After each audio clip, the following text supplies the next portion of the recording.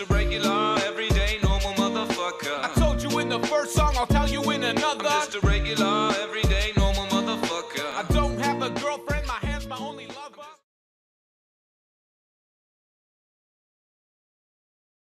Uh, for that last name. No relation, of course. No, not at all. Or maybe, I don't know, that might be your cousin's cousin, cousin, cousin down the line as he gets the dunk there. Those legs look spry. Eh? and I, I'm, I'm not going to be one to say anything because I would be so much of a hypocrite. Here's Gerald Green for three. Gerald Green was a player development coach with the Houston Rockets. Steps into a three there. He's always still competing. There's always that internal clock inside. Green trying to go to work here. He's got five straight. And that's why you bring him in the game. Gerald Green getting all the way to the cup.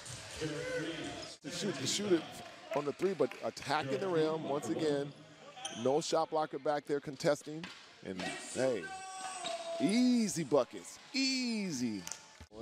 Here's Jackson knifing down the lane. Rejected and then Brown sent back by Green. No fly zone here for the Vipers, and there's the former slam dunk champion.